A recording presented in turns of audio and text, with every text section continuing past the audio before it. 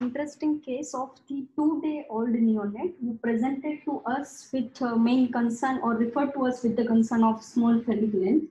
And uh, he, uh, he, was full-term delivered, uh, delivered by the cesarean section and birth weight was 2.3 kg, slightly low. And child was kept in NICU for observation because of low birth, plus mother was in, in not a good condition to take care of baby. Um, because child has QTed initial two to three weeks, uh, that's why uh, he was kept on RTFIT. Otherwise, there was no uh, storm in urinary The uh, antenatal history was uneventful, and there was no history of exposure to any androgen or any other hormonal preparation in the mother, and no history of maternal virilization. And he was born to the non-consanguineous parents, and uh, there are, there are two prior siblings uh, delivered by uh, IVF for conception and the, uh, were twins, they are normal. So on examination, the vitals were normal. Uh, the heart rate was 110. BP was not measured at that time because we don't have the small curve available at that time. General examination, the child has long philtrum and broad nasal bridge, but that was not fitting to specific syndrome. Digits were normal. There was no midline defect in form of cleft lip, cleft palate, no nystagmus, no pylorictus or cyanosis. AF was open, PF was closed.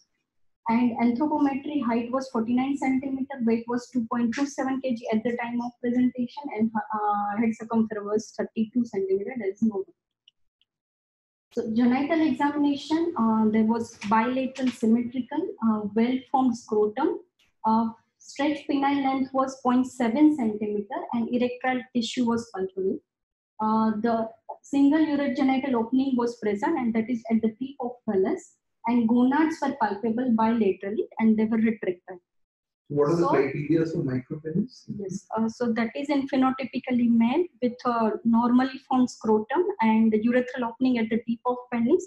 So this is the fitting the uh, definition of micropenis.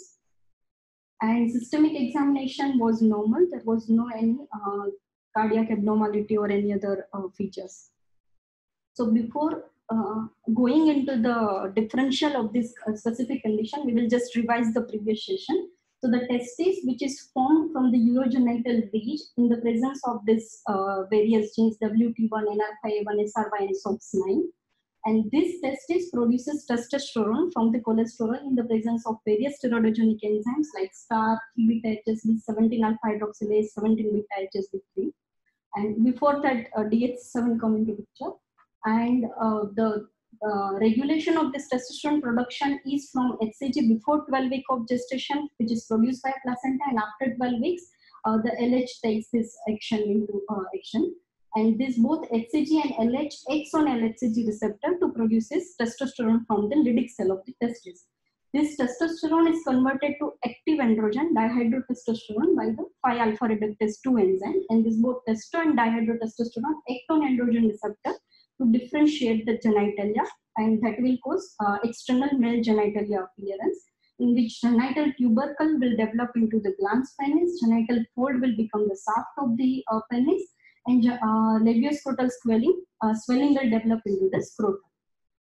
So the one important thing to understand that before 12 weeks, the complete differentiation of genitalia takes place and the penile length by around 12 to 13 weeks is around 1 to 1.5 centimeter that sir has already discussed in previous uh, uh, session and after the 12 weeks just the growth of penile, uh, penis will uh, occurs and that is in the presence of LH as well as uh, there is a role of the GH IGF-1 axis. So from this uh, slide, we can easily uh, uh, think of the etiology of the micropenis. It, it, can be because of the defect in any of these genes which will cause testicular dysgenesis and defect in development of the testes. It can be uh, because of hypothalamus or the pituitary problem due to the gonadotropin releasing hormone or the gonadotropin deficiency. It can be because of defect in LHCG receptor or defect in testosterone synthesis or XN because of alpha reductase or the androgen insensitivity syndrome because of androgen receptor Sometimes even isolated GHD or GH uh, growth hormone resistance can also present with the micropenis. So that is very, very true in terms of the penile size. But yes. I think the key message out here is that when we talk about a proper micropenis or isolated micropenis, a lot of these disorders will go off. So yes. you won't have gonadal dysgenesis or let's say LHCG receptor or surgery to take AIAS 5 alpha reductase unless and until you have also have associated hypospadias. So very, very mild defects. So if you would like to really put in, I would say maybe Staphylococcus, maybe one condition, which traditionally may present just with micro because there is defect, but it is not that severe. So let's put it that way: the amount of androgen required for virilization Hmm.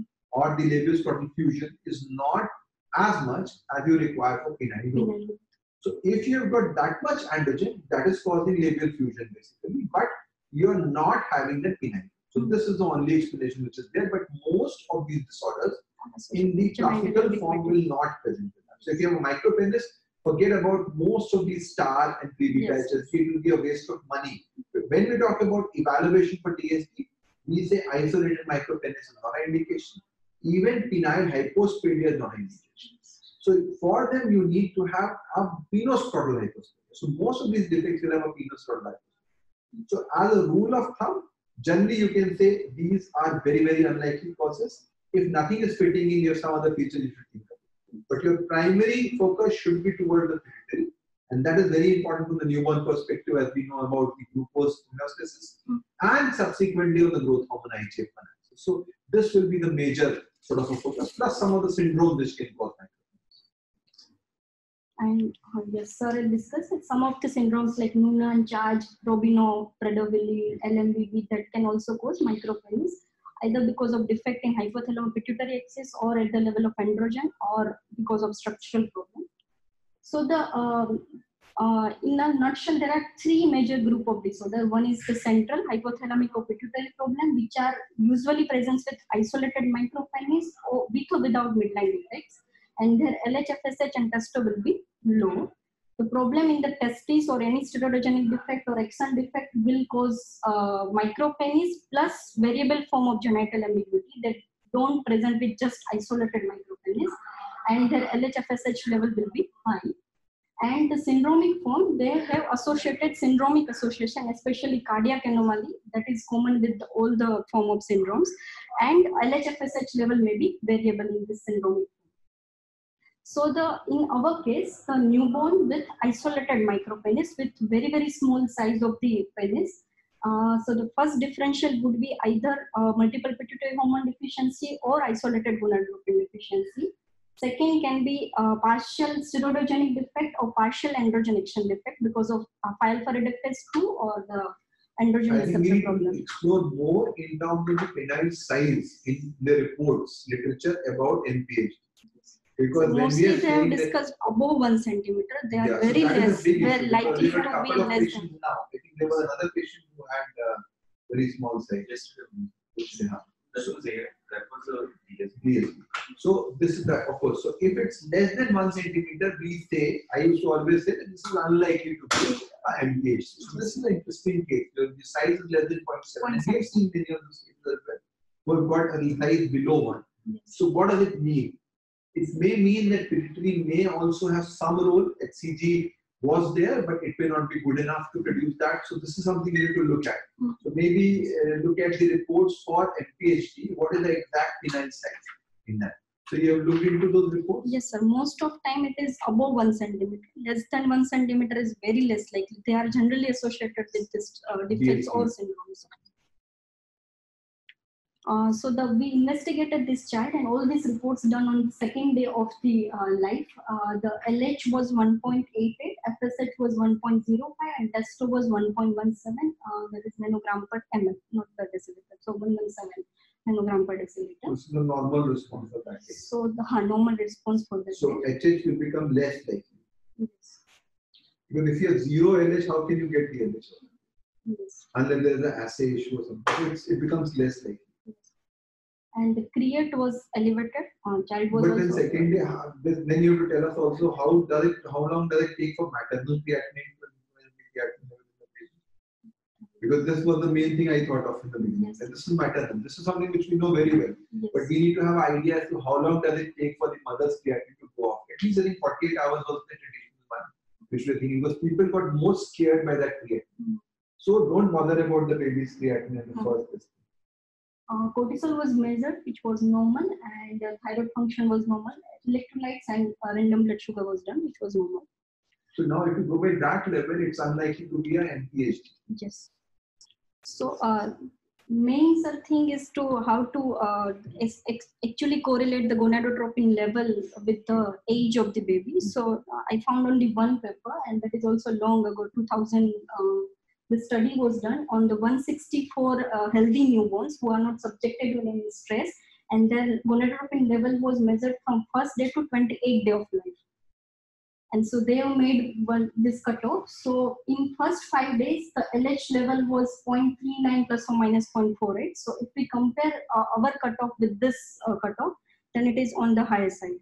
I don't know how this reliable No, this. higher means what? It basically means that it is normal. Yeah. So it is not low. But we cannot say that hyper hypo or No, no, hyper will be very, very high.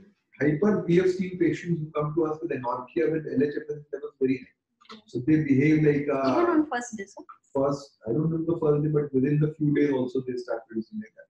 So this will be much higher. So this is not high. I would not call it high. It is not. So I am what I'm trying to say is that LH deficiency is very unlikely in this case. So uh, after follow-up, uh, two weeks later, the child came to us and the uh, weight But was this LH was 2.56, day one, two, Two. hour, and there this report was. one to five days. So that's why then you have the then the peak comes in.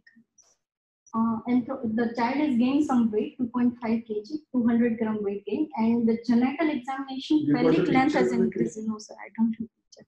Okay? Phallic length is increased to one centimeter. So there was slight uh, increase in penile length uh, by around 0.3 centimeter in this uh, two-week period. So that has ruled out generally exon defect, uh, androgen. So that's what we do. If you have a child who has got a normal sort of micropenis, you've excluded the pituitary and everything, wait for mini puberty to happen. It will take care of. Now in this case, 0.7, how much it will be, we will have to learn about that. So I think we need to take a picture of this patient to see how it increases and follow up. And uh, that will be the way to go forward. Uh, some investigations repeated on 15 day of life because of the uh, critical time of the uh, salt wasting crisis. So electrolytes were normal, cortisol was normal, and lipid profile was done just to rule out the SLO. Uh, so the, it was normal. But I will be concerned about this creatinine now. 1.2 at this age still, will be definitely something. but it was in declining trend. yeah, Initial but was it should have come down by normal by this. This would concern me. So then maybe we are thinking of some form of uh, gonadal dysgenesis, the T1 and all, but they Generally have Usually genital will have genital issues which will be much more pronounced. And sir, even they have said that uh, the renal functions will deteriorate after some time. They are not in Some of these DMPs, diffuse mesangial, this thing, all of them can sometimes have a early onset renal. Nephrotic syndrome like picture. That congenital nephrotic syndrome can also be. And the 1703 which was done in neonatal screening uh, report, that was normal. So that is of no consequence. Mm-hmm. It is unlikely to be any form of that serious. So the, uh, after three weeks of life, uh, life, the baby came and the penile length is still one centimeter and the baby has developed hydrocele and inguinal hernia. And he was operated for and uh, the weight is same. Now the child is not thriving well because of the, there was the feeding issue because child was on top fed and the mother is not fully trained to give the uh, feeding.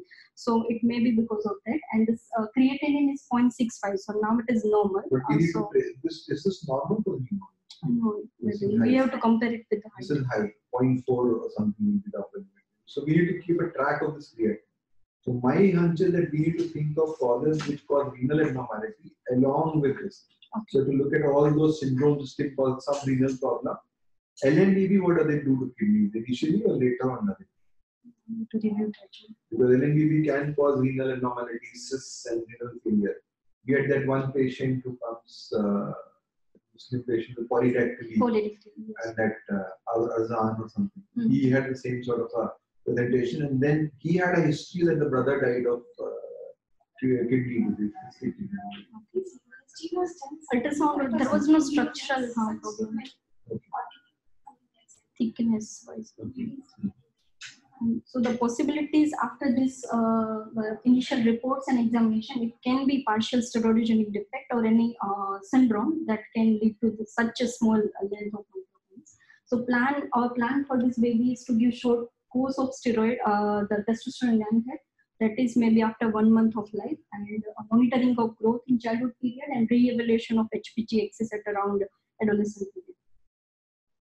Okay, so I think this is a very classical case of micropenis, but the only issues here are that the, the size was much lower, Much lower which takes us away from MPH. MPH. Anyway, you have to exclude it, so which we have done. It's unlikely to be CAH of any form because your normal external genitalia. So some form of syndrome which we have to be wary about in that situation. So I think that we'll focus on and we'll follow up on. it. Should we do protein to ratio? we can look into all that congenital nephrotic, phasia, WT1, all those things. We have to think about it. So uh, we don't know how they will present. Yeah. See, he presented like a CH complete antigen and then on follow up, he was found out congenital. Congenital nephrotic syndrome. Okay. So that may be. Uh, so did he have any other of those defects? Done. Mhm. So maybe some cause which is with adrenal insufficiency, with gonadal insufficiency, with that. So then all that Wilms tumor and all will be unlikely. Why this baby required testosterone therapy? The minute could have helped. We did not give testosterone in that case. We might think of giving it later on. So what we'll do is that we'll wait for the time till the, the child actually has a progress from there. If there is no progress, then we'll think of. So usually we do not do in this case. If we document that testosterone is normal, and we have a couple of cases who become completely normal uh, on growth and they actually had hypospadia also there was one child who we did not give testosterone and with that mini puberty the levels improved with that so generally wait for some time and anyway at this age giving testosterone may cause fluid overload cardiac issues so we need to avoid it till at least six months or so in that DHT gel per se, the main role is only in 5 alpha reductase deficiency. We do not recommend. If somebody has got an actual micropenis, testosterone is the therapy of choice. And this we discussed in detail about the micropenis session. Uh, and testosterone usually should be given around one year of age, probably is something which we're looking at. If somebody has a small phallic size at one year, it's extremely unlikely that they will improve over time. So you have to give it don't delay it till around 8 to 10 years because then the responsiveness will come down. If somebody has a GHD, growth hormone therapy may itself increase the penile size, and this is something which, which is very well documented and we've also seen in that perspective. So, general rule is that if you have a micropenis, look mainly in terms of pituitary functions and some of the syndromes in the beginning. Watch for mini puberty. No response to mini puberty, you give testosterone response to mini puberty still the phallic size is less. Give testosterone.